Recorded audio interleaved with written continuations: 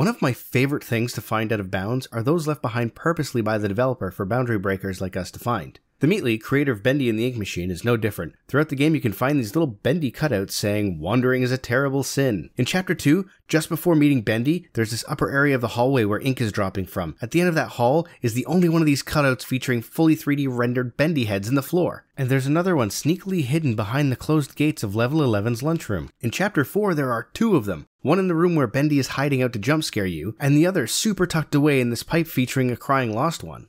Chapter 5 has one hidden inside the administrative maze. And lastly, in the archives, after completing the entire game, there's one on the reverse side of this wall.